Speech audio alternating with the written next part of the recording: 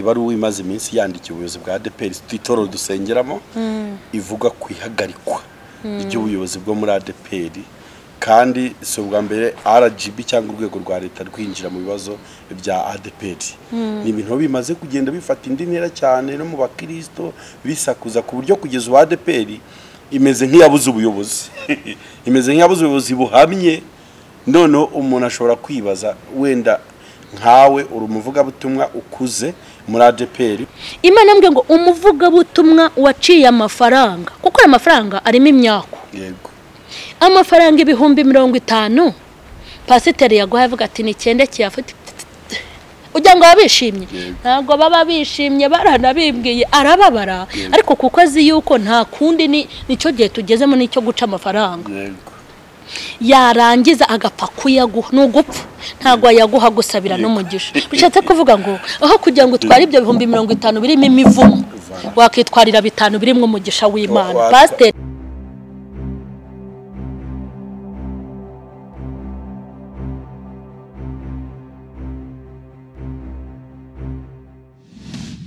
turabasuje cyane inshuti abakunzi mwese mukomeje kugenda mugaragaza ko mukurikiye ibiganiro bya kwizera yesu tv kwizera yesu tv ni televiziyo nyine ya gikristo igamije ivugabutumwa ubutumwa bwiza bwa yesu kirisito nk'uko bivuga ngo ni ukwizera yesu tv rero wowe wamaze guhitamo gukurikira ibiganiro byacu turi kumwe muri uru rugendo rwo kujya mu ijoro nyine twese twatangiye. Hari inyigisho nyinshi y'ibiganiro indirimbo zo kuramya no guhimbaza bigomba gutambuka hano nyine bifitiye umumaro umuntu wese ukurikirana iyi televiziyo nk'uko yashinzwe mu rwego rw'ivugabutumwa. Ariyo mpamvu ibyo tuvuga tutabivuga ku bwacu ahubwo tuvuga ubutumwa bwiza bwa yesu kirisito uwo muri kumwe kuri kamera ubu ngubu nitwa bikemu ndi umukristo mu itorero rya adeperi ndi umuririmbyi ndi umunyamuziki ndi umuvugabutumwa bwiza. Ariko ntabwo ndi njyenyine muri iki kiganiro nyine tugiye gukora. Turi kumwe n'undi mukozi w'imana nimba umubonye ari ubwa mbere simbizi. Niyo mpamvu musaba kugira ngo twatangira twibwira abadukurikiye kugira ngo ikiganiro cyacu kize kugenda neza. Okay. Mm, nitwa Mukeshimana Emerita turi ku izina rya Mama Sharirene nka masherirene yego. Aha urakoze cyane. Turakwishimiye Mm, urakoze cyane. Wambaye neza n'ukuri. Urakoze cyane. Imana iguha umugisha. Ya umugisha tuwusangire twese hamwe. yes turi kumwe na mama Charlene rero mu kiganiro tugiye kuganira eh, ikiganiro nyunguranabitekerezo ku biba bigenda bivugwa hirya no hino mu matorero ku murimo w'imana twinjire no mu ijambo ry'imana tubihuze n'ijambo ry'imana nyine turebe icyo riba ribivugaho ubwashize twari twababwiye ko tuzaganira ku kintu cyitwa umuhamagaro. Turi kubabwira nari ntagiye mvuga nubwo nabivugiye inyuma ya kamera ariko twarimo tuvuga ukuntu dufite abantu mu nsengero bahamagawe n'imana bahagaze neza mu muhamagaro wabo ariko kandi hari n'abandi bihamagaye. So ni aho ngaho tugiye kuganira mu kiganiro cyacu niyo nsanganyamatsiko nyamukuru ariko kandi turaza no kuganira ku bigenda bivugwa mu matorero cyane mu itorero rya ADPR tubarizwamo kuko ni ho tuzi ni ho tuzi cyane hari inkuru imaze iminsi ivugwa yivanwaho ry'abayobozi ba ADPR byose turaza kubigarukaho ariko turabigarukaho tutagamije kwibasira abantu cyangwa guharabika cyangwa gusebya. Turabiganiraho nk'umurimo w'imana kandi nk'ababifite mu nshingano nk'abavugabutumwa kandi turi urugingo rw'itorero rya ADPR rero turaza kubigarukaho muri iki kiganiro cyacu cy'uyu munsi. Mama Charlene bwakiye neza? Yego. Eh, bwakiye neza. Yes. Amakuru y'iminsi. Tumeze neza cyane. Ivugabutumwa rihagaze gute? Nkuzi nk'umuvugabutumwa. Eh ivugabutumwa rimeze neza rwose. Imana iri kugenda irishyigikira kandi inaryagura. Yego. Njya numva ngo abavugabutumwa ngo b'ubushake b'umuhamagaro baba volonteri baratandukanye. Wowe uri mu kihe gice ngewe nkimara gukizwa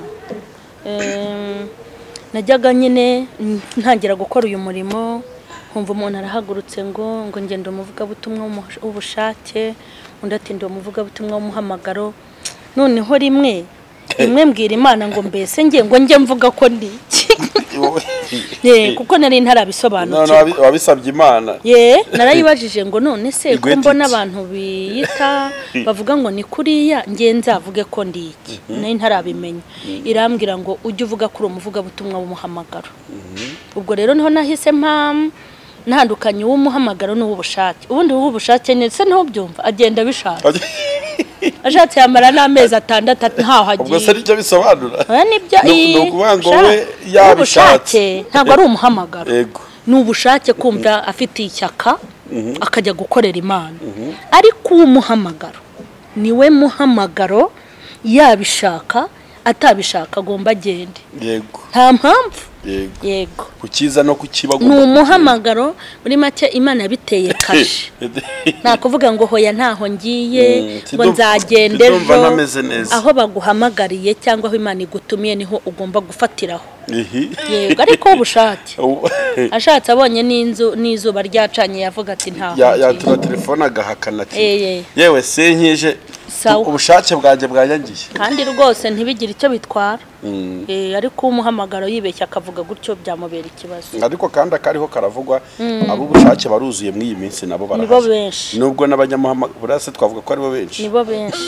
Ni ukuri nibo benshi. Aba abavolonteri. Abaforonteri ibyo simbisobanukiwe Nye- neza. Nibyo ni byo ni uko biri mu gifaransa ariko n'ubundi ni buri munsi ni ukuba ubushake. Eh, twa- ntabwo twahakana ko batariho. Abantu b'abavugabutumwa b'ubushake si ubwo mvuge ko ari ab'ubushake. Abariho muri iyi minsi harimo n'abihamagaye. Nyine n'ubundi ni ho turi kuganira. Ntaho batandukanye n'ab'ubushake. Urakoze cyane. Winjiye mu kiganiro already cyacu kivuga ku muhamagaro w'imana. Ubundi umu- abavugabutumwa bose bavuga ubutumwa. Barahamagawe. Oya ntabwo Ba- bahamagawe. Basigiye uwo murimo ndakurahiye. Ntabwo bahamagawe. Kuko hari ibimenyetso bigaragaza ko batahamagawe. Ni nk'ibihe ibimenyetso bigaragaza ko batahamagawe ni uburyo bakoramo umurimo w'imana. Aho umuvugabutumwa ashobora kuvuga ati njye sinajya kubwiriza mu cyaro. Ni ukuri nta muvugabutumwa w'umunyamuhamagaro wasohora iryo jambo. Simfe no mu cyaro naho wajyaho ahari amavunja nubwo muri iki gihugu atakibaho. Ntago agira umupaka. Ariko rero aba- abatekinisiye dufite muri iyi minsi ni uko insengero babaye bazegetseho bari bateye n'umujinya. Ngewe ni ibintu nzi niboneye sibyo? Nge nzi ko hari umuntu twari turi kumwe turi gutumira umushyitsi ahantu ntavuze.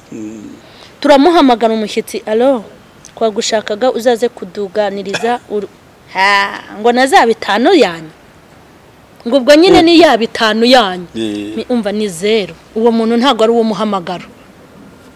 Mwarongereye se Eh, mwarikosoye nzi. ahubwo si ibyo bitanu ni itegeko kubiguha. Yego. Ntabwo ari itegeko.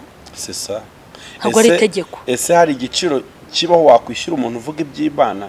Ntabwo cyashyizweho. Uri kumva umva ikindi? Niho turi turi ku- muntu wihamagaye. Yego turi ku muntu wihamagaye. Ibimuranga. Turaza no kuvuga ibiranga umuntu wahamagawe n'imana. Tugiye kumansiyona nk'ibintu bine bine kuri kuri abo bantu none ibyo bintu tubiganireho Yego. yego. Icyo ni icya mbere hari undi nawe twigeze dutumirwa ahantu hamwe. Ubundi njye sinjya ashaka umuntu bantumirana nawe. Kuko ubugegera bubabamo bamwe ntabwo nabushobora. Nimvuga ubugegera sintukanye ni ubugegera It is true. siko hari umuntu badutumiranye ni ahantu hatari mu rwanda. Sibyo baravuga bati uzazane n'umuntu runaka. Ndamuhamagara. Ndamubwira ntidushaka ibyangombwa. Icyantangaje yarampamagara ambwira ngo bakoherereje angahe? Baguhaye angahe yabanje kuta guf- gushaka amakuru. Ye. Kandi ndi imbere y'uwiteka. Nariyeranje kuko ngiye ku murimo wa data. Ibyo kuvuga ngo bampaye amafaranga ibyo bintu nta nubwo nari nzi ko ariko babigenza. Uzi ko kuri finale yambwiye ati najya hese ese undi mwavuganye angahe yaguhaye angahe? Bimeze bite? Ndavuga ni mama we twegeranye bibiriya tugende harimo ikintu. Ndavuga inti imana ifite akazi ni uko igashoboye. Uzi ko byarangiye tutajyanye? Ubwo si ubugegezi? Kubera nta kintu kibirimo. Nta kantu. Urumva we iyo bamunyuraho yari kwandika fagitire yaya akeneye. Ngewe rero kuko ntayo nabaciye nzi ko ngiye gukorera imana naramubwiye nti ntayo bampaye. Ubwo se najya kubaka amafaranga? C'est ça. Byarangiye tutajyanye ndamubwira inti ari kuzasaza nabi. Yego. Narabimubwiye ntuzasaza nabi. We waragiye? Naragiye cyane. Naragiye kandi imana ira- irampezagira. Yego. Komeza uhezagirwe. Uri kubyumva neza? Ibimenyetso biranga abantu bihamagaye. bihamagaye. Yego. baba bafite izindi nyungu. Urakoze. Abantu bihamagaye icya mbere tubonye baracuruza. Baracuruza. Kumva. Icya kabiri ivugabutumwa ritarimo inyungu. Ndavuga za zinoti ntibarikora kuvuga ngo hihannye benshi ibyo birabareba. Ba- ba- wenda mureke kwihana ariko mu muhinoti bafite umwanya w'abihana se? Ntawe. Kumva? Bafite umwanya w'abihana. Muri make ibintu byose umubwira ni umutumire uhita umubwira ayo uri bumuhe. Yego. Kandi nta yindi nyungu bareba. Yego. Ntashobora kureba ati n'abahashyi yego nabahashye.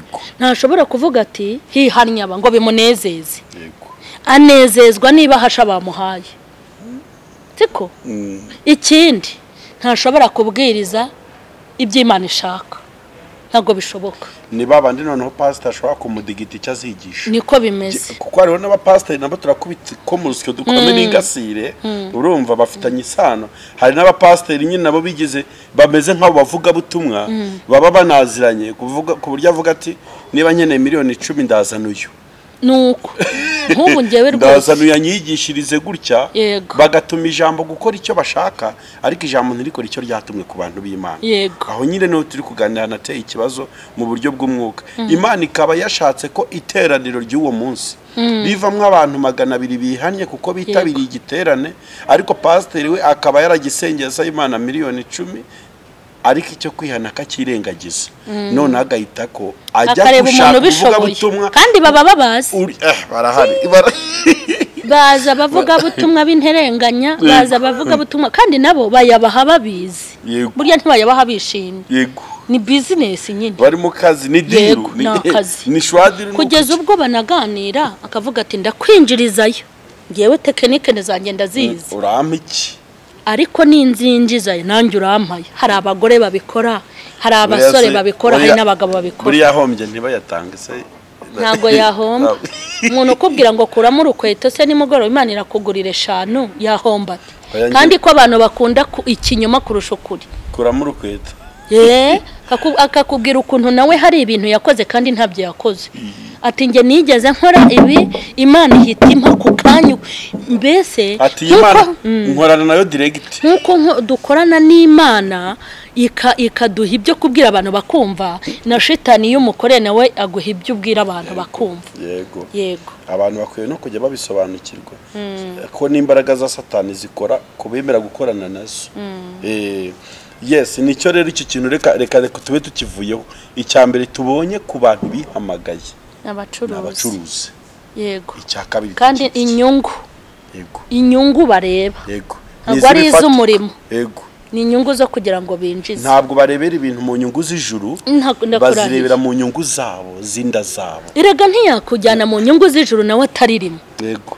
Umuntu akuyobora iyo yajya yajya kukubwira imana bataziranye yego. Yakubwira ko imana yamutumye batajya bahura. Yakubwira inyigisho z'ijuru se kandi ajya ikuzimu rero yigisha iby'amarangamutima y'inda ye yego. Yego. Birakoze imana iguha umugisha cyane. Yes turi mu kiganiro nyunguranabitekerezo. Inshuti mukomeje gukurikira kwizera yesu tv ntimuve muri iki kiganiro turacyakomeje cyane. Reka turebere hamwe ikintu cya kabiri kiranga abantu bihamagaye batahamagawe n'imana ariko nanjye ndagifite. Abantu bihamagaye baravunika. Bakora n'igihe bashakiye burya baravunika cyane ibintu birabavuna Birab- kandi ubundi umunyamuhamagaro havunika. Ahera saa sita akageza ku zindi saa sita. Akiri purawudi y'ibintu ari gukora. Hari ahantu najyaga njya kwigisha. Najyaga njya kwigisha nk'ibiterane. Icyumweru cyose.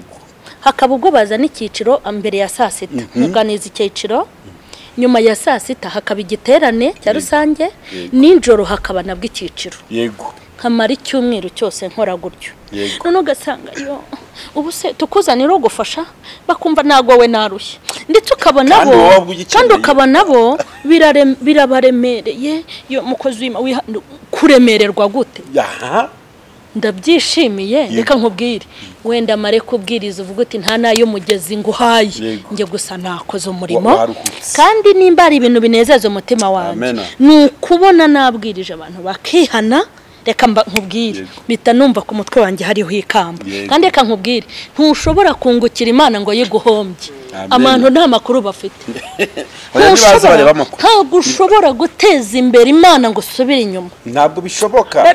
Imana yarabishimangiye mu ijambo rye aravuga ngo icyo musabwa ni ugukiranuka no kunkorera ibindi mukabibona Yego. ubundi dusigaye dusaba inyongera tudafite imanza ubundi reka nkubwire.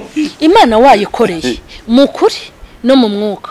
Ukigisha ubujura uzi ko nawe utiba ukigisha ngo mureke ubusambanyi uzi ko nawe utabukora. muri make ukayikorera mu kuri no mu mwuka. Sinshobora gukorera imana ngo nikorere amaboko. Ntibibaho ikindi. Ngewe iyo najyaga gukorera imana. Ntago narebaga ngo aha barampaya bigende gutya. No umutima wanjye ntubaho. Umutima wanjye ni hariya. Kuko nzi ko nta mwana w'umuntu wanaguhemba ngo uzamare n'icyumweru ya- ariko uyu mugabo akoze mu ikofi ye ngo ahemba neza ntiyambura. Akoze mu ikofi ye akaguha. Burya araguha kandi erega mama sharene imana ntabwo ariyo mukoresha w'umuswa ku buryo yatunga abakozi idahemba. Ntabwo bishoboka. ku buryo yashyira abantu mu kazi itarapanze ikizabatunga. Eh, ni uko ahubwo twebwe tujya kwirukankira guhembwa mu tutakoze kiganiro Yego. natanze ubushize cya gihe nabwiye abantu ko imana igira igeragezwa. Yego.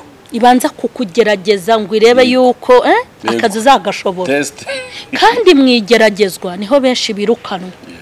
Nkwibutse ko n'ubu hari abantu bakora kandi imana yarabaciyemo umurongo nk'uko sawuri yayoboye imyaka ingana kuriya ubwo Imana yaramuciye no guhamagarwa no gutoranwa ye turaza kubivuga mu cyiciro cyabyo reka mbanze nkubwire ahangaha uri kubyumva neza. Imana iyo iguhamagaye ikaguha umurimo. Ibanza no kugutesitinga ngo irebe. Uzi ko abakozi b'imana benshi mu igeragezwa imana ihita ibakuzaho? Yego. Reka nkubwire. Nimba imana ikohereje kubwiriza nta tike iguhaye Umva, iyi kwimizi ko ntayigira? Mm. ntayo ufite. Ikayikwimizi ko nunaguze utazabona aho wishyura. Ariko ikareba ukuntu ishya kuri bugiri kugira ngo ugere hahandi yego. Yego? Iyo ni iryo ni igeragezwa urimo. Bya orojinali yego iragutumye Uzi kandi izi neza ko nawe nta tike ufite. Ariko iranga iragutumye. Ahubwo umva n'akandi kantu. Nta n'ubwo iba wemerewe burya guhamagara ngo nta tike mfite. Ye baba data we. Uzi umuvugabutumwa batumira ngo nta tike afite. Imana ishyiraho zeru. Iyeranje ugenze amaguru nutagenze amaguru uguze. Umva impamvu mbikubwira. Njye mvuga ibyo mpagazeho. Ibyo ntahagazeho ntabyo nzababwira. Ngewe rimwe ahantu barantumiye. Ugomba kwamara iminsi itatu. Ufite abana hanyuma ndicara. Iminsi itatu ngomba gusiga iby'iminsi itatu ku manywa na nijoro. Iminsi itatu nkeneye itike injyana ikanangarura. Kandi ndi mu bihe byo kubwirirwa no kuburara. Batagira ngo ninorohewe. Iyo ni imibare ya kimuntu yawe. Hanyuma birinda bigera ku munsi wo kugenda ku mugoroba buri buke ngenda nta n'ijana. Bikimeze gutyo. Maze ndicara. Nutampa ubwo ndi kumwe na yo nutampa itike urorere si umurimo wawe se? Ngiye gukora. Mpitameragura wowe n'umwana wivumbuye bamutuye abantu urayirakarira si umurimo wawe. Ku bunyangamugayo mfite ntabwo ngiye guhamagara abantu ngo nta tike mba numva biteye n'isoni. Yego. Ijambo imana yasubije. Yarambwiye ngo nta tike nguhaye kandi uri bugende ese ubu ngiye hari amababa nari mfite ngo nguruke? Nta n'amapine ngewe mfite umva uko witeka yambwiye. Mbibwire n'abandi bibaza ibyo. Yego. Yarambwiye ngo mbese umwana wawe aramutse arwaye? Kandi akarwara uburwayi ukeneye kujya kumuvuza. Mm. nta mafaranga ufite. Wabigira ute? Mm. ntinakubitiriza nkayabona. Iti sawa. Iti hanyuma se uhuye n'ikibazo gikeneye amafaranga? Kandi ntayo ufite bwo wabigenza gute? Inti nyine nakubitiriza nkayashaka. Irambwira ngo ntiwumve. Nk'uko ukubitiriza ukabaho nk'uko ukubitiriza ugakemura ibibazo uzajya unakubitiriza ugire mu murimo. Mm, sinakubitirije ubwo bikubwiye ngo nyine aho uguza ayo kujyana abana kwa muganga ujye uguza n'itike yego. Kandi umuntu akumva ko yaguze amafaranga kugira ngo yikure mu kibazo ariko ntaguze amafaranga ngo ajye gukorera imana. Aha. Umva e- e- ikigeragerezwa nanyuzemo yego. Naho nubwo buzima bwa rero njye nabayemo imyaka myinshi. Yego. Tuza nkubwire icyo ni cyagiye kigeragezwa yego. Geragezwa reka mbabwire. Hari igihe naguzaga itike. Ni imya- ni igihe kinini ariko. Nabibayemo imyaka myinshi. Ariko kuko yabonye ko umutima wanjye wakunze kujya kubwiriza nkafata ideni. Yacaga inzira ikanyishyurira. Uwo munsi ivuga gutyo nise nyine nkubitiriza. Uwo mugoroba narakubitirije kuvurwa. Mm, narakubitirije ndaguza. Ayo bazarya iminsi itatu n'itike izanjyana n'izangarura. Njya kuvuga imana. Ibyo rero ni bwo buzima namazemo igihe kinini. Noneho hahandi ugera imana irakugerageza kugira ngo igufate nk'umukozi noneho ibihembo bijya bizana. Nk'ubu ngiye bigengezemo imana iri no kumpemba na ya myaka yose itampemba. Iri gukuramo indi cyaka aleluya iri kumpemba we. Nikomeze nyihembere ni ukuri irimo irahemba. Umva bikemu reka nkubwire ikintu cyabaye. Uzi kujya ahantu uzi ko wagujije? Ntega amatwi. Mbwira abakozi baba bapfiriye mu igeragezwa imana ikabakuzaho. bagaruke no mu nzira.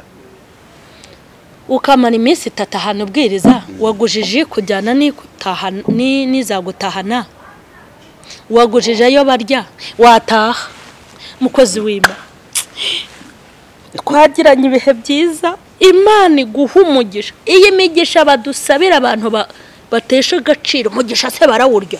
Hari n'abo usanga bavuga gutyo. Babaye nk'ibicamuke umugisha wawe ushyira mu isafuriya. Yewe we. Mu isafuriya asabwa mu isafuriya hajya umugisha. Umugisha w'imana. Ntabwo bawuzi bazawumbaza umushumba ati waradukoreye neza waritanze. Twakozwe. usiga abana bawe batanu. None umara iminsi itatu hano. Mukozi w'imana imana iguha umugisha iguha umugisha. Uwo mugisha nyatuyeho kandi koko nkukwiriye. Ngombe nkubone. Akavuga ngo iguhe umugisha. Nta n'ijana bampaye. Yego. Noneho ikintu nakoraga ni iki? Nabwiraga uwiteka ngo ukomeze unkomeze. Kugira ngo ibyo nubatse ntabisenye. Yego. ntabisenyesha iki? Umubabaro. Yego. Sibyo? Hakaba n'aho ujya bagashyiraho igiturisho cy'umushyitsi. Njye narasomye. Muri uyu murimo narizi igiturisho bakagishyiraho bati duherekeze iki? Umushyitsi. Ni ukuri bakayashyiramo abakirisitu iyo bagukunze rero barayazana. Bagashyiramo ureba n'amaso yawe. Kumva imana iri kukwigisha nta nubwo ari ibisambo si n'abagome. Uri mu ishuri uri mu igerageza. Bagashyiramo ureba bagashyiramo. Wajya gutaha ati imana iguha iki? Umugisha. Zake rike shoze se mbaho muri iyo myaka Ba- kugeza ubwo abantu nigeze njya mpura n'abavugabutumwa ugiye hese mu mashini mgiye aha n'aha? Ngo yo ngo ubonye aho ujya. Ngo hariya ugiye ni mu nyatsi indi ni mu nyatsi gute? Ngo nta tike bagira.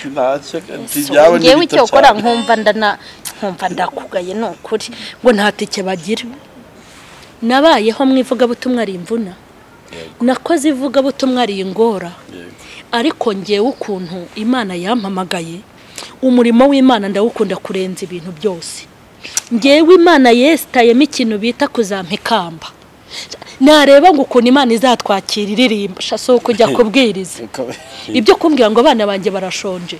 Kera njye nari nanzi ko imana izanye zikananyicyurira ibyo kuvuga ngo nzabinaha ntabwo nari mbyitayeho. Nari uzi ko uzahatinda yego ntabwo uzi ko nzahaba iyo ubayeho nabi uba wumva utazanahaba none se uraruhamagara. najyaga ndota ndi mu nzu nziza. Nziza inzu isanzwe. Yego. ntubwo niyo mu ijuru. Noneho nkarota nitwaye mu modoka yanjye ntubwo nivugabutumwa nkarota ngo imbere yanjye hari ibisorori by'ibiryo by'amoko yose ntubwo n'ibyo kurya by'umwuka.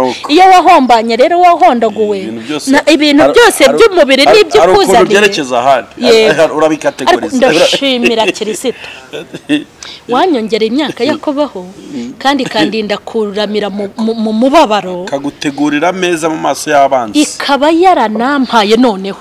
Bike nta kintu umutima wanjye ushobora kwifuza kurya. Ngo nkibure yego. Bimwe bavuga ko uzarira mu ijuru gusa. Yabibaye nkiri kugwavanze ariko ubwo nari mvuze gato kwigeragezwa reka ndekeraho. Yego. Mbega icyo tubonye aho ngaho kuri icyo ngicyo uvuze? Umuntu wihamagaye yumva ibi bintu bimuvuna. Eh, yumva ibintu bimuvuna kandi bidakwiye kumuvuna. Ntabwo. yes icyo ni icya kabiri rero tugende tu- ku cya gatatu noneho. Umuntu wihamagaye dushobora kumurebera ku ki? Tumaze kubona bibiri tugiye ku Eh, cya gatatu. ikindi umuntu wihamagaye agira ubute kandi budafite impamvu. Ashobora kwicara ati ngewe ndatwite kandi ari amezi atatu. Ntaho najya. Akayikuza ahorana impamvu. Kandi zidashoboye. Mbese umuntu ushobora kwicara ngo aratwite ubundi gutwita hari ubwo uba amahwa. Ubwo ntugenda ku jombe mbega yishyiriraho ingengabihe yo gukora umurimo. Yego. Ku buryo atakorana n'imana imubwira ati genda saa sita ati oya mfite aho njya saa munani. Bahorana impamvu Mba, bahorana impamvu kandi burya umuntu iyo adatwite nyine aba yabyaye. Iyo atwite aba afite impamvu y'uko atwite. Yego. Ibaze umuntu ushobora kubwira imana uti ntaho ndi bujye kandi ndafite amezi ane. Yego. Sibyo? Mbese yaba ifite abiri yaba ifite umunani hose. Hanyuma kandi bamuhamagaye ngo ahantu hari ibihumbi bitanu by'umwana yahita agenda yiruka akajya iki? Ni uko utazi iyo afite uruhinja. niyo yaba imara icyumweru ivuka. Oya noneho niyo afite uruhinja? Aravuga ati sinajya mu masengesho ya nijoro umwana wanjye ataribwa n'imibu. Kandi kera batarafunga ubutayu. Hari akantu wavuze keza nakuyemo gakomeye guhangayikira uyu murimo. Nk'uko wahangayikira abana bawe cyangwa ubundi buzima bwawe. Ukavuga ati ngiye kwiyeranja mpaka nishaka nguze. Mbona itiki njyana gukorera imana? Uzi ko kantu reka ahubwo nkubwire akantu reka nkubwire ikintu. Uzi ko njye nabayeho ndi umusiribateri mu mutwe? Nimba ngo mfashe inzira icyumweru ntari mu rugo. Ntabwo nibukaga ko nabyaye. Utu utu- utuzuye. Imana rimwe hari ijambo yambwiye. Nigize umunajyoha nka kumwe mwigira abanajyoha mbwira imana nti koko nzajya mpara nturugo ntabana bazagira ngo iki? Umve ukuntu yambwiye. Yarambwiye ngo mbese ngo ntabwo ujya ubona abana bahiye bari kumwe na ba nyina? Ita nibuka umwana umwe wahiye akarinda apfa bakamushyingura mama we bari kumwe mu rugo. Inkubita umubare. Sharirene wanjye yari atarabona pareye. Yagendeshaga ivi. Ivi niryo yagendeshaga. Muri make uwari kumbona yakuvuga ati uyu mugore w'ikigoryi. Kandi sinari kugira icyo ndenzaho ariko sinari cyo. Naragemba mu nyungu z'imana kugeza ubwo ntibuka ko nanabyaye. Ariko mva ukuntu imana yankoreye ibintu byiza. Yigeze imbwira ngo hari umwana wawe wasanze yahiye? Inti ntawe. Irambwira ngo ko abagore bahora kwa muganga ujya ujyayo inti hoya irambwira ngo hari umwana urasanga mu muhanda yazerera inti ntawe. Irambwira ngo hari umwana urasanga yazanye ibibazo mu baturanyi inti ntawe. Imana yambwiye ibintu ndarira. Mbwira imana inti nta nubwo nzongera gukebuka no kubitekereza. Reka nkubwire. Imana yampaye abana bafite uburere. Imana imana yandereye abana. Reka nkubwire. Impamvu yandereye abana. Narayibwiye nti mpora nkurerera abana. Mpora nkurerera abana bawe. nanjye underera abandi igihe wagiye mu by'imana neza ubikunze nayiza mu byawe ye baba data abana banjye ibaza aho umwana aba afite urufunguzo rw'igipangu sibyo ariko ntiyibeshye ngo arebe no ku muhanda. Kandi ari we urufite. Kandi uzi ukuntu abana bakunda kujya gukina n'abandi. imyaka yarabimwemerera. Ah, iyi yarabimwemereraga. Akamenya ko agiye ku ishuri. Agahita amenya n'inzira imutahana ntaha akatiye. Akamenya ko agomba gusohoka mu rugo. Agiye ku ishuri cyangwa agiye muri repetisiyo muri korari nareba abandi bana baba mu muhanda. Nareba abandi bana babaye marine. Nareba abana batoroka iwabo ngo bagiye gukina imipira. Mpita mbwira yesi nti n'ubundi nubwo twigize abarezi ntiturera ahubwo harera wowe. Niyo mpamvu hagize umwana wanjye ugira ikibazo ni ukubwira yesi nti narakurereye Yego, yego. kandi nkurerera neza. Nakurereye mu mvura. Ndera mu zuba. nta n'ayandi masengesho ngo ndafataho imyaka ingahe? Nagiye se nyibutse ko nayirereye kandi imirimo iravuga. Igomba kuvuga. Eh, niyo mpamvu rero ntiwarerera imana ngo ureke kukurerera. Ubwo rero ikindi kintu cya gatatu ntiwakorera imana ngo ireke kugukorera. Ntabwo bishoboka. Ntibakayibeshyere disi Eh, hoya turi kuri icyo ngicyo nyine tuvuga ngo abantu bihamagaye bagira ubunebwe. Ni ho wari uri kuvuga n'icyo twari tukiriho. Ni ba- ni abanebwe n'abanebwe bakora uko bashaka. Nyine bahorana eh, bahora- bahorana impamvu reka turebe icya kane ari na cyo cya nyuma kugira ngo twinjire no ku bantu bahamagawe n'imana. Bo bameze gute? Sasa ariko twavuze ko tugenda tuvuga bine bine kuri buri kintu. Dushobora noneho kwibaza abantu bihamagaye n'ubundi ni iki kindi dushobora kubareberaho muri uyu murimo? Twabamenya gute? Ikindi kintu dushobora kubareberaho abantu bakwiye no kwitondera mu buryo bukomeye. Ni uko ari abantu batagira gahunda. Ntabwo bagira gahunda. None se buretse nkubaze? Ubaye uri muri bizinesi ugira ngo bakakubwira ngo iyo fone yawe. Hari umuntu ushaka guha ibihumbi mirongo itatu? N'undi akaguhamagara ati hari umuntu ushaka kuguha none ibihumbi mirongo ine na bitanu? Wajya he Mm. Wajya he wajya kuyigurisha he? Baguhamagaye ko ufite telefone igurishwa. Umwe akavuga ati ndashaka ibihumbi mirongo itatu. Mu kanya undi agahita aguhamagara ati njye ndashaka ibihumbi mirongo ine na bitanu. Wajya kuyigurisha he? Na- na- najya kuha mirongo ine na bitanu kuko ari ukugurisha telefone. Urakoze cyane. Yego. rero nta umuvugabutumwa ubundi wihamagaye wihamagaye iyo bavuze ngo hano hari veni sawa rero. Uretse gato. Mu isaha imwe. Atumva. Ati senkano bari ku meza. Oya eh. Ahubwo reka nkubwire. Ahita agira ute? Bagira gahunda. Reka nkubwire. Ukuri kwica gahunda. Ntubona ukuntu? Baba bafite mbafite najyaga mbafite amarandevu. Nagiye nandika aha nzahajya kuri iyi tariki nzigisha iyi saha. eh, nzigisha korari bantumiye sangahe z'ijoro ni bwo nzaba nahageze. Ni igiterane cy'iminsi ngahe nkabyandika muri ajenda buze ukuntu bakora? Arandika. Sibyo? Kandi iyo yanditse muri ajenda haba harimo na yo bazamuha. Noneho kuri ya tariki kuri wa munsi bakamudeturuna aha. Akaganira nabo nimba hambere ari mirongo itanu. Ariko ngo hari n'ukuntu bakorana da ngo aho yari kujya kohereza y'undi. N'ubugegera Aho- n'ubugegezi. Ariko ariko ko twaba dukeneye mama Sharirene N'abakomisiyoneri. twaba dukeneye mama Sharirene mu iteraniro bakatuzanira bikemu iryo teraniro eh, rizishima. Erega buriya imana igiye gukemura ibintu. Imana ifite umubabaro urengeje. Yego. Hanyuma bakamuhamagara umukozi w'imana abona hari aho azajya yanditse mirongo itanu. Hanyuma agahita ababwira ati muzampa angahe akavuga ati tuzaguha mirongo inani. Ati nta kibazo nzaza. Siko? Ba bantu ba mirongo itanu hari n'igihe baba baramwoherereje ibi bintu mvuga. Ntabwo ari ibintu nayoye ni ibintu mpagazeho igihe cyose najyaga ntanga ubutumwa nk'ubu ndi gutanga kuri kwizera yesu tivi najyaga mbutanga bagahita bampa raporo n'amazina y'abantu. Babibakoze muri uyu mujyi wa kigali. hanyuma ha hantu kandi hari n'insengero zisigaye za- zatinyaga gutumira abavugabutumwa zarahamutse. Mu cyaro nari nsigaye njyayo bandeba batyo. Yego. Ariko natangira kwigisha cyangwa pasiteri akaperezanta ukabona nibura bagaruye? Kugeza ubwo bambwira ngo abavugabutumwa b'i kigali ntitugishaka kubatumira. Banambwira ibintu babakoreye nkumva badukojeje isoni.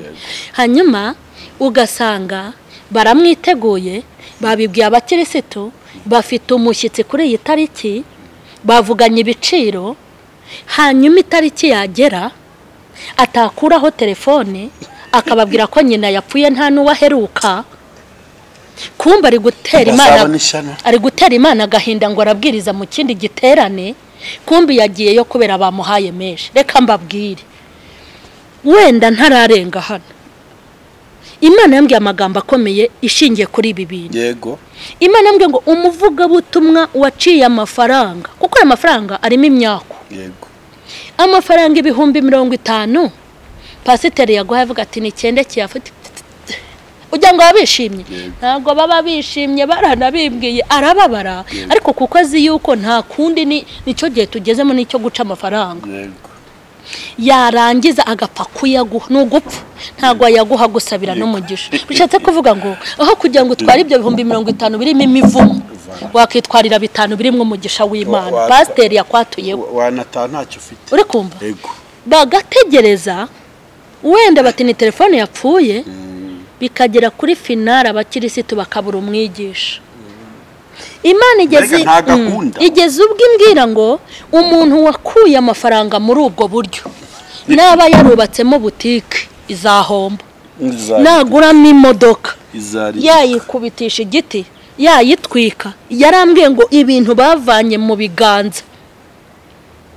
Bavanye mu murimo w'imana ibyo biguzi nk'ibya gehazi. Imana yarambwiye ngo byose ntabwo ni- n'uwaguzemo umwenda ntabwo azawurambana. Gukorera imana nawe bitera umwaka n'uwashatsemo inkwano agaka umugeni.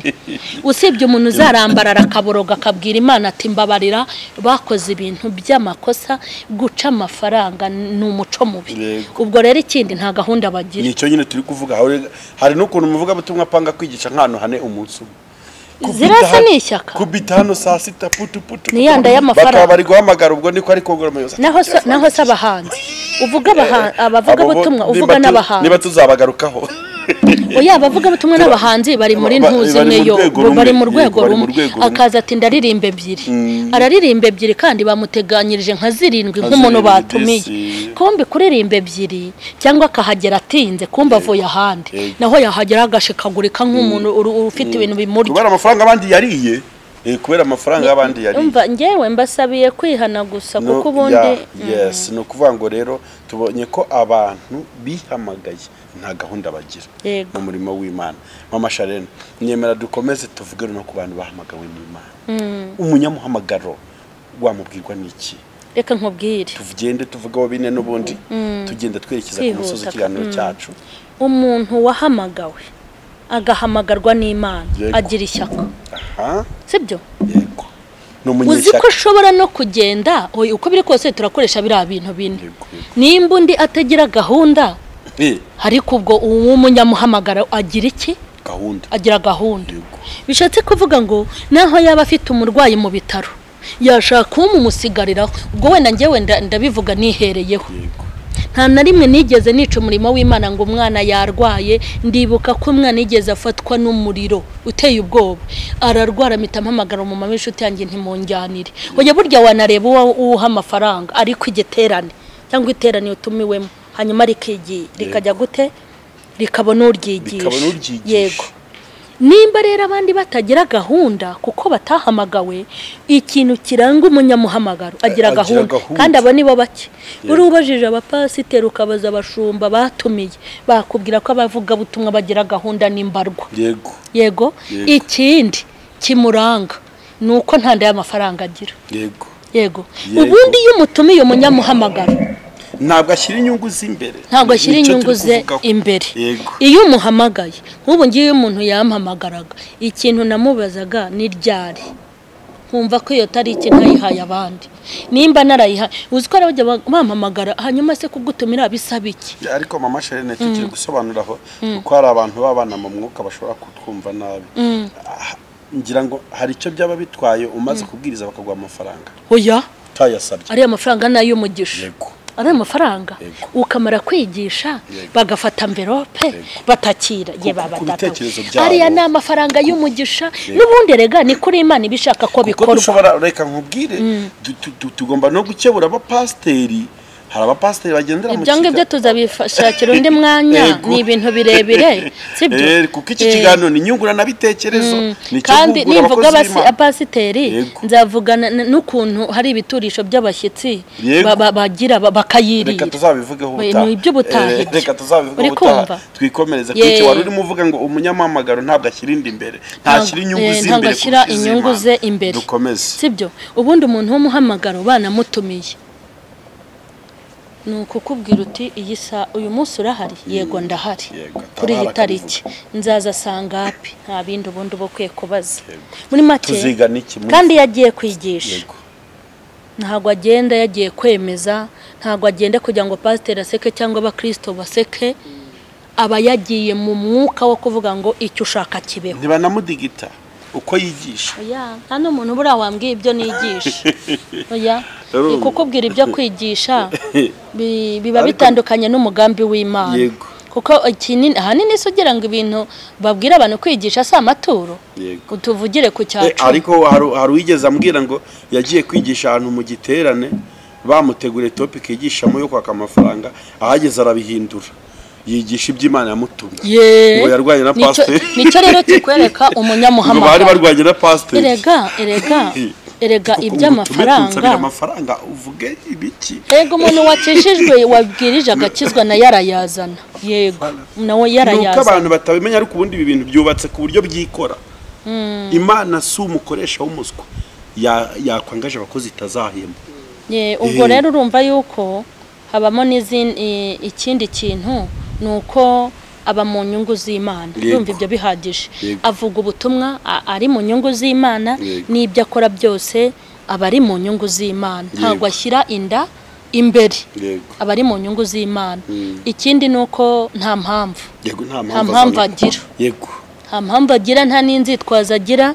Akora neza umurimo kandi akawukorera igihe. Yanakora no muri irijanse y'imana. Aho imufatiye hose. Yes murakoze cyane. Turacyari mu kiganiro ntabwo turagisoza. Twababwiye ko hari n'ibindi nyine tuganira ariko ntabwo dutinda turi kugenda dusoza ikiganiro inshuti bakunze mwese mukurikiye kwizera yesu tv eh, mama sheri ngira ngo uracyasengera muri adeperi ya hari amakuru amaze iminsi agenda avugwa mu binyamakuru bitandukanye. Nta muntu utarayasomye usoma interineti cyangwa nk'abakristo muri adeperi by'umwihariko. Avuga reka n'ubundi nyine tubihuze n'iki kiganiro cyacu turi gukora avuga ku ihagarikwa ry'ubuyobozi bwo muri adeperi none aha ngaha tugiye kuganira nk'abakristo bo muri adeperi bari kubona ibi bivugwa ku buyobozi bwacu. Hari ibaruwa imaze iminsi yandikiye ubuyobozi bwa adeperi itorero dusengeramo ivuga ku ihagarikwa ry'ubuyobozi bwo muri adeperi kandi si ubwa mbere rgb cyangwa urwego rwa leta rwinjira mu bibazo bya adeperi ni ibintu bimaze kugenda bifata indi ntera cyane no mu bakirisito bisakuza ku buryo kugeza ubu adeperi imeze nk'iyabuze ubuyobozi. Imeze nk'iyabuze ubuyobozi buhamye. Noneho umuntu ashobora kwibaza wenda nkawe uri umuvugabutumwa ukuze muri adeperi umaze igihe kinini uvuga ubutumwa bwiza ufite n'abantu benshi cyane bagukurikira sinzi wowe imaje yawe y'ukuntu ubona ni iki kibura ngo adeperi igire ubuyobozi buhoraho bwishimiwe na leta ndetse n'abaturage iyobora. Ushingiye ku bivugwa n'ibyandikwa n'ubuyobozi butandukanye. Icyo nshaka gusobanura kuvuga ngo leta yinjiye mu bibazo bya deperi ni ngombwa ko leta ihinjira kuko leta ireba mu ruhande rw'umubiri. Ntakagire n'umuntu ubyibazaho.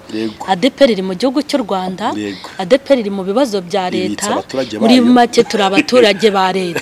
Sibyo kuba leta rero yaza mu bibazo bya deperi c'est pas grave. Si frasa iki- oui complètement urakivuga mama sha rero navugiye igifaransa kuri kamera uri kumva neza ntabwo birenze. Tu- rwose nta n'ibintu bikomeye. Ni abantu ntibakanabyumvemo ko ari ibintu bikomeye nimba haraje muri make leta ireba mu ruhande ahubwo rw'umubiri leta itabijemo ni cyo kibazo. Eh, leta ireba mu ruhande rw'umubiri. Imana na yo izareba mu ruhande rw'ubugingo. Yego ireba mu ruhande rw'ubugingo. Kubera yuko hari ibintu imana ikemura mu mwuka hari n'ibyo leta igomba gukemura mu mubiri. Muri make leta n'imana hariya buriya baba bari kuzuzanya. Kandi ikindi ntabwo ruriya rwandiko batinyuka kurwandika ngo banarusohora imana itaruteyeho kashe. Nta mbaraga babibonera. Yego kuko buriya itorero ni abantu b'imana.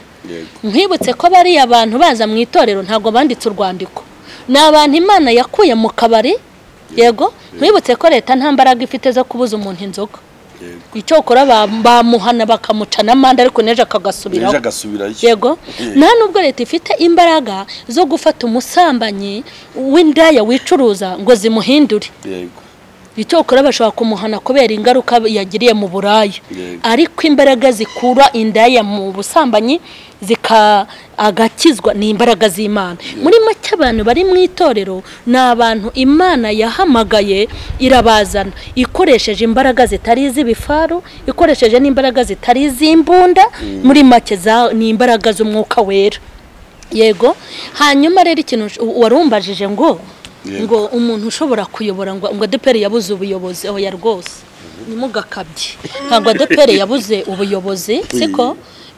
N'abari bariho n'ubwo babakuyeho barayoboye. Barayoboye. N'abandi bazaza yego. oya n'undi uzayobora azayobora. Agende. Nta n'umuntu uzagumaho. Kuko ubaze imyaka adeperi ibayeho imaze kuyoborwa na benshi. Sibyo? no kuba barakuwe ku buyobozi nta birenze bihari. Ni- ni- nibagende nyine hazaza abandi cyangwa babasubizeho ntago mbizi. Nawe byo kuvuga ngo umuntu uzayobora adeperi mu buryo burambye. Ariko undi umuyobozi wabaho umuyobozi uzaba ku buyobozi mu buryo burambye ni kirisitu wenyine. Umuntu yajya kuramba ku buyobozi imana abandi niba bashaka ko busanzwe bw'isi Eh, burashira. ba- bajya kuramba ku se bavuyeho n'abandi bakarya. Nimba ari icyo cyubahiro nimba ari n'izo none kunyumva neza njye ndi kugaruka. Wenda urashaka kumbwira ngo ni iki cyazana umutuzo n'umutekano ibintu bigashira. nyine kuvaho k'umuyobozi nk'uko bivuze ntabwo ari igikuba. Ntabwo ari igikuba. Yego ntabwo ari igikuba se n'ibintu bidasanzwe. Kuko niyo adakuweho n'abantu akurwaho n'urupfu kuko nta muntu utazapfa. Cyangwa n'imana Si- cyangwa ikamwikuriraho n'imana ikamwikuraho nimba ariyo kuko iba yaranamusizeho simbizi. Ahubwo ngewe ikintu ndi kugarukaho uburyo ubuyobozi bwa adeperi bugenda buvaho. Ukuntu bakurwaho.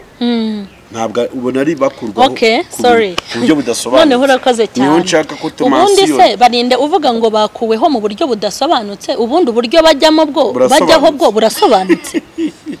Icyo ngicyo gishakira igisubizo nubwo reka kimbajije dusome. Reka dusome. Reka twinjire mu ijambo ry'imana Twinjire mu ijambo mba nkoresha, sibyo? yego. Muri samweri igitabo cya samweri igice cya mbere umurongo wa cumi na gatandatu. Igitabo cya mbere cya samweri ibice cumi na bitandatu reka mpere ku murongo wa mbere. Samweri atoranya dawidi ngo abe umwami. Siko? Kugira ngo abe umwami nyine ayobora abisiraheli. Ndashaka noneho kuvuga rwose pe uburyo bajyaho n'uburyo bavaho. Ntacyo butwaye. Yego. Yego? Yego. Eh, uburyo bajyaho n'uburyo bavaho. ntacyo ni ibisanzwe ntacyo bitwaye reka turebe.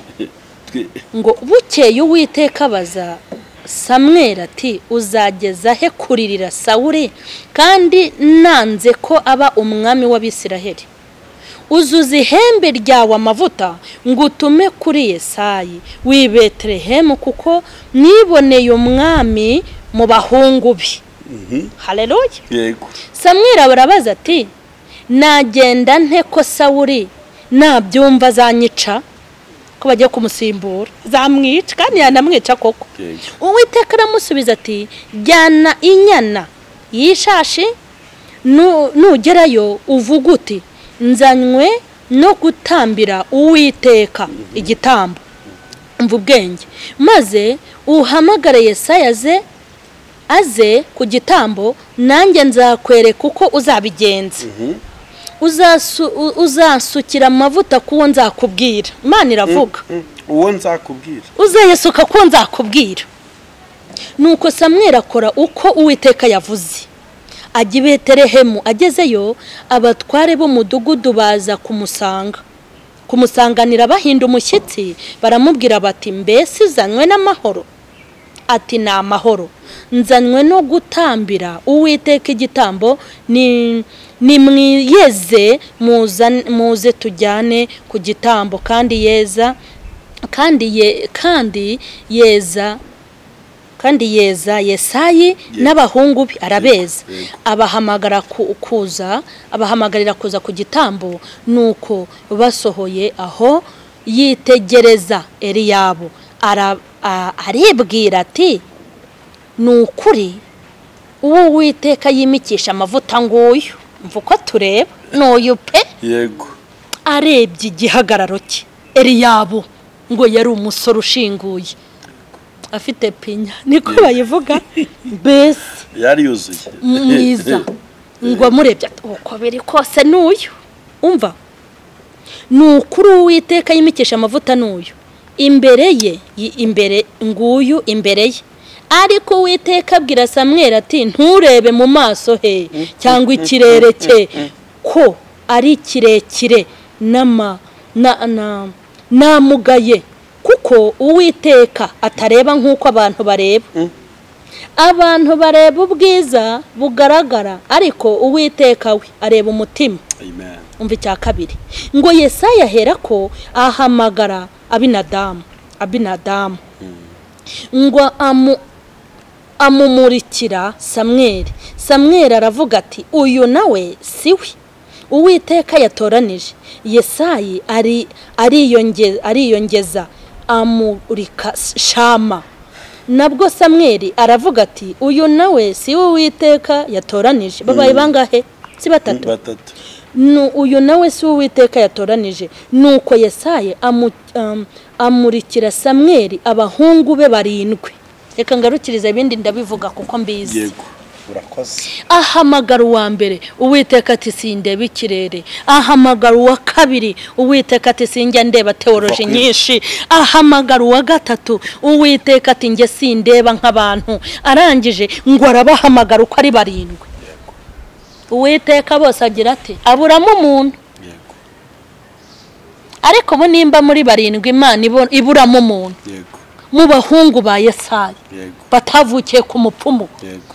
Batavutse ku bacuraguzi batavukiye mu mahembe. Abana bari barabyawe n'umutambyi. Uwiteka akababuramo muri barindwi. Naho abavu. Hanyuma ngo yesayi ngo baramubaza ngo mbese nta mwana wawe usigaye?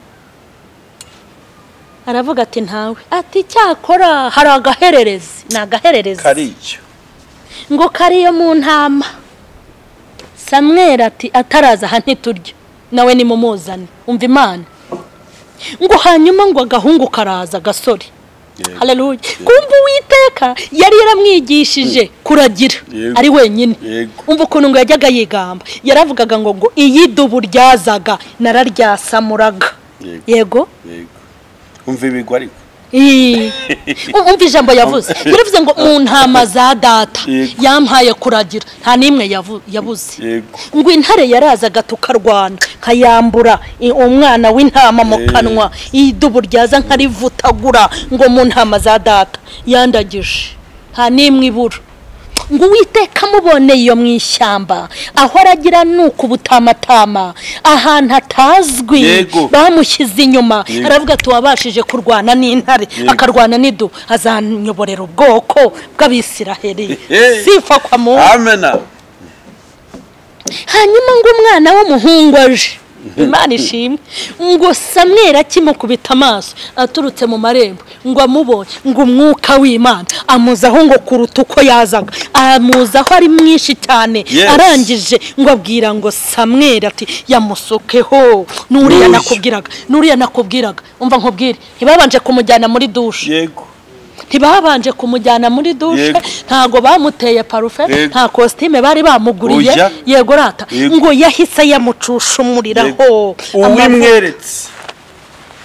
Hanyuma se reka ngo usubize rero sibyo nsubiza. Imana ntireba amashuri. Reka nkubwire rero. Kumbwira ngo ngo bizagereza he ngo kuvanwaho? Ubundi bimika bate? Yego. Hari ubwo bafata ibihe byo gusenga ngo basengere umwami uzabayobora? Kuko n'umuhanga imana igomba kubamo. No reka nkubwire. Ubundi hari ibintu bakoreshamo diporome hari ibintu bakoreshamo uburambe. Ugiye mu kigo runaka cya ntuza hakora diporome n'uburambe. Ariko mu bintu by'imana ntihakora teworoji imana wabonamo umuntu uyirambyemo cyane ku buryo ayirusha abandi. Wabimenye se nyine? Uri kubyumva neza reka mbanze ngo usobanurire ahangaha. Ibi bintu by'imana. Birimo abantu imana yahamagaye ntawe bari kumwe. Sibyo? Hari umuyobozi umwe nakunze kera. Nari nkiri muto numva disikuru yatanze. Yaravuze ngo umuntu agasiza ikibanza agasiza ikibanza. Akiyubakira inzu ayikora akayikoramo finisaje hanyuma igihe cyo kuyitaha cyagera ukamubwira ngo mpifunguzo nyibemo gute se? Wazubatse iyawe. Imana ihamagara amabandi nta muntu uyifashije ibakarabye ibagira abavugabutumwa. Ihamagara abajura. Ihamagara abanyabyaha. Izibeze ibahindure. Ibazane mu itorero iryo rya deperi. Hanyuma uze kubayobora uko ubyumva. Ntabwo imana yabyemera. Hanyuma rero wavuze ngo kuvaho kwabo. Uko bavaho niko banajyaho. Siko ubundi mbere y'uko bajyaho. Nayo mu ihembe aba yakoze. Ntabyo nzi. Yego yego. Yego? Bararamutse bagiyeho kubera amavuta yo mu ihembe. Umuntu wasutsweho ayo mu ihembe. Naho wahamagara batayo magana angahe ntabwo wamukura ku buyobozi. Yiteguye kubarwanira ishyaka umuntu wasutsweho ayo ku ihembe. Umuntu wasutswe ayo mu ihembe utarimikiwe mu kabari utarimikiwe muri hoteli utarimikiwe kuri telefone utarimitswe yatanze inoti. Utari imitwe abiguze. Abiguze agasukwaho ayo ku ihembe. Ndi imbere y'uwampamagaye nta mwana w'umuntu wamwandikira urwandiko uko ni ukuri kw'ijambo ry'imana. Umuntu washyizweho n'imana akurwaho na yo. Ariko umuntu watekenitse cyangwa akajyamo uko abyumva. Ashobora gukurwaho n'abantu bigakunda ikintu rero ushaka gusobanura ibi bintu imana iri mu kazi kayo bike imana iri mu kazi kayo naho rero njye ngewe rwose ntabwo mbyemera ko umuntu yasukwaho amavuta yo mu ihembe agategekwa akategekwa n'imana ngo nayobora abisiraheli hanyuma umuntu akamwandikira urwandiko. Nimba bi- bishoboka binabaho imana byo yabishobora byanakunda nibimbwira na byo nzabimenya ariko uburyo nabwo abantu bajyaho bajya kuyobora ni uburyo buteye ubwoba. Ikindi abantu barimo gushyira diporome imbere. Ngo ndangije kaminuza ya tewoloji Yego. ariko se urangije kaminuza ya tewoloji ni byo urayirangije ni byiza no kwiga. Natwe twarize. Nubwo twayacikije kubera twabuze minerivare. Hari abazadutera inkunga tukayibona. Sibyo? Ni byiza kwiga. Ariko mu bintu by'imana ninde muntu ushobora kugira impamyabumenyi yo kuyobora ubugingo bw'umuntu? Noneho rero abayobozi b'igihugu cyangwa abo wavuze ngo banditse urwandiko barimo gukora mu nyungu baharanira ubuzima bw'abakirisitu bayoboye bashinzwe. Imana na yo izarwana urugamba iri mu nyungu z'ubugingo. Yego. Ikindi n'umuntu wese uzajyaho ngo agiye kuyobora deperi natajya mu mwuka ngo akore uko imana ishaka. Sibyo? Ajye mu mwuka aganze umubiri. Nawe azavaho haza undi nawe aveho haza undi. Gusa finari imana izamushaka. Kandi nta muntu uteze kuyobora iri torero ngo arishyire ku murongo imana itaragira icyo irikoramo Yego. sibyo kuko hari ikintu imana igomba kubanza gukora. Nkikubwire imana izakubura nirangiza ikorope nimara gukoropa yunyuguze aho ni naho izazana umuntu ayobore. Ubuse bw'ibyo uvuze nta kirakora. Nirana- gukubura. iranakubura. Isigaje gukora. Iri- irimo irabikora, irimo irabikora. urakoze cyane. Yes turi mu kiganiro ariko turi kugenda tugera ku musozi nyine w'ikiganiro cyacu. Mbere y'uko dusoza ikiganiro mama sharene imana ikubwiye ngo usengere ubuyobozi bwa adeperi sibyo himika ubuyobozi bwa adeperi wasenga isengesho rimeze utusaba ubuhe buyobozi? Saba ubuhe buyobozi? Yego. Um, reka rero nkubwire. Buriya ikibazo cya deperi ibyo muzi n'ibyo murebera inyuma. Sibyo ni byo murebera inyuma nk'abana b'abantu niyo mpamvu harimo abavuga ibyo batanazi. Ariko burya ikibazo nyirizina imana niyo ikizi kuko imana iracengera ifite videwo na odiyo ngiye kuvuga ngo rero usibye gusabira deperi amahoro. Nkasaba ko uwiteka adukuraho igisuzuguriro nk'uko yabitwemereye. Ubu ndi kuvuga ngo nasaba umuyobozi umeze ute? Hazaza umuyobozi umeze nk'uko imana ishaka. Niryo nasa kuko umuyobozi umeze uko imana ishaka uko imana ishaka. Eh? Ibintu byose ibintu byatu ariko sinakubwiye ngo nawe azabura amakuba ahubwo ni we uzabona n'ibyago kurusha n'abandi. Umuyobozi uzaza mu murongo w'imana. Bazamukubita bamuhondagure. Reka nkubwire ibihe turimo ni ibihe bya nyuma yesu agiye kuza. Ntabwo ushobora kuyobora abantu mu kuri no mu mwuka ngo ujye ngo gusenya inyubako za shitani ngo hanyuma azakwihorera nawe nazaza uko imana ishaka. Amahirwe azaba afite namwe. Ni uko uwiteka azamutera ingabo mu bitugu akajya anamuha sapoti iturutse mu ijoro ibyo byonyine naho amakubayo none azayabamo se mama sharene imana iramutse igutoranije. Ese guseka ntarabaza. Ima-